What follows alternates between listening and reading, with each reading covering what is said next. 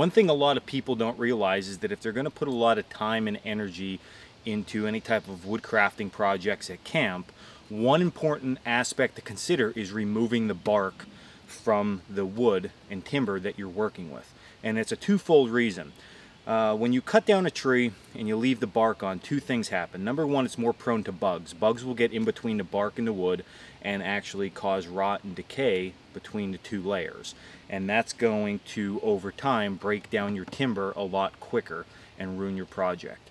The second reason is very, very similar. It's this fact that moisture is going to build up between the timber and the bark, the inside of the bark, and rot the wood away. I know everybody that's spent any time in the woods has probably had both of these things happen to them. Number one, you think a tree's okay, you're going down a hill, you grab it, the tree breaks, the bark was on, everything else was fine. The tree died, that moisture got between the bark and the inner timber, broke apart, or you built a nice tripod or something out in the woods and uh, you go to move it one day and the leg breaks, the bark's still on everything, you just you don't understand why it just all rotted. You figured, oh, it was rotted on the inside. Well, it's because you left the bark on. So taking the bark off needs to be an important consideration when making more long-term sustainable type camp implements and furniture. Here we have a workbench or a cobbler's type bench.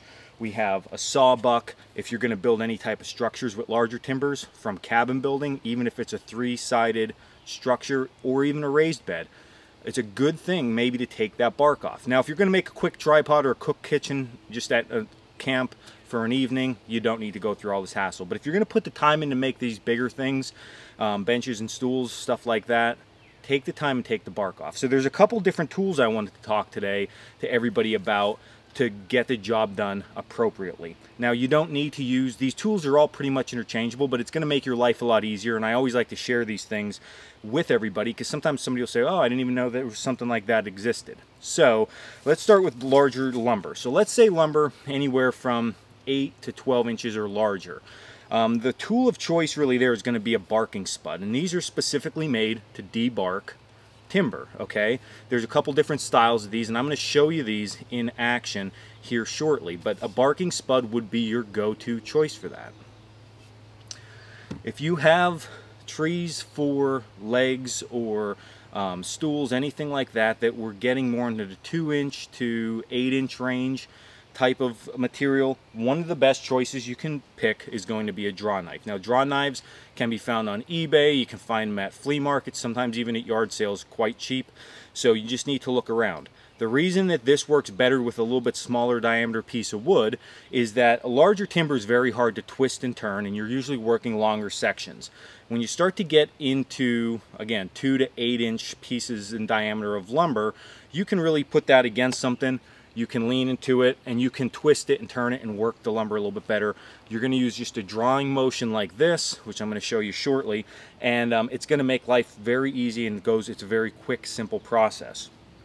Anything smaller than that, two inches and under, um, you really can do two different things. You can take your knife and just slide your knife down and peel off the bark, or you can take your axe, again, choke up on it, slide it down and peel off the bark. Um, you really don't need these other tools for anything small like that.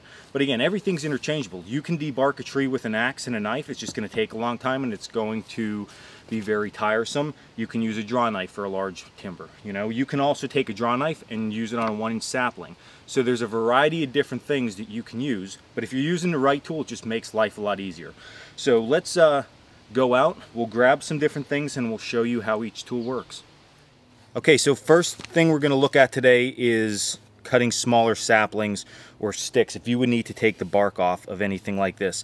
One of the easiest things to do guys is just get your knife and then just slide slide it down take your time with it just try to get on that edge and take that bark off okay? So you can see once you get going. Okay we're getting that bark off and we'll be good to go that's going to be one of the easiest ways to do that you can also we'll flip this around grab your axe just choke up on your axe again and slice that off okay very easy just takes a little bit of time, but again, we want to make a project here that's going to last a long time. So take the time and get all that outer bark off. Okay guys, so you can see now we went with a little bit bigger piece of wood. Now this is a piece of tulip poplar. This has been down for about two months. So I don't know if it's still gonna be green inside, but you can see this draw knife, you just stick underneath, pull that down. Sometimes you gotta clean the blade off a little bit, but that's it. Just getting down in there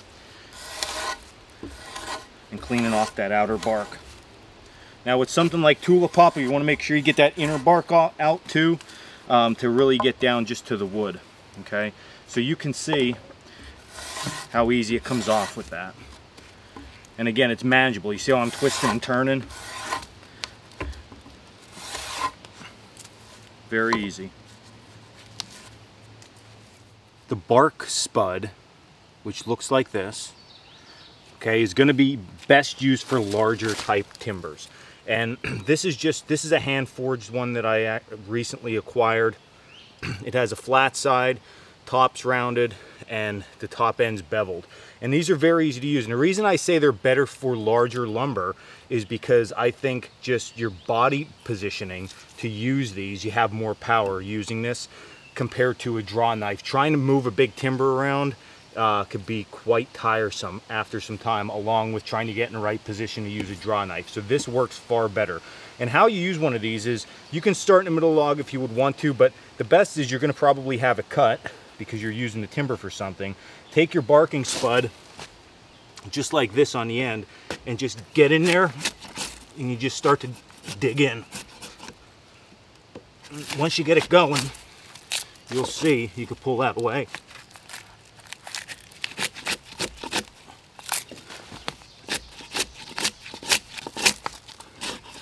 Now, of course, this timber has been sitting out for a while, so it's a little bit tougher to get in there. But you can see the how we actually do that. You know, you can peel that back, pull it away, and just start to work it down. And that's gonna get that outer bark off and get you down to the wood that you want. So that is a bark spud.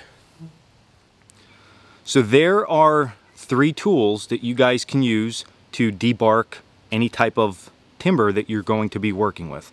And again, getting that off is gonna save the wood. It's gonna just make your project's longevity last so much more. Um, so when you're gonna put time and energy into something like that, you want it to last. So definitely get that bark off that and it will do real, real well over the long haul. I hope that everybody enjoyed this video. Again, if you haven't already, check us out at coalcrackerbushcraft.com for all our upcoming classes and merchandise. And until the next video, stay in the woods, guys.